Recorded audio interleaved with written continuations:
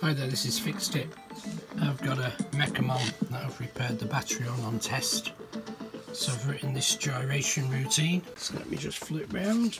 And here he is, busy gyrating around and around, which is obviously using the battery and gives me a good battery test. So as you can see, he's been running for over an hour and still about two thirds of his batteries left. I'm using the great programming interface on the Mekamon app and it's really, really useful and full of really nice, cool features. Mekamon stopped after one hour 45 minutes of doing the gyration test. That's really good for a battery. Very impressed. I hope you like the video. Please subscribe to the channel and check out my other videos. I'm going to be selling some of these on eBay, so check out the description for details. Thanks for watching. Bye.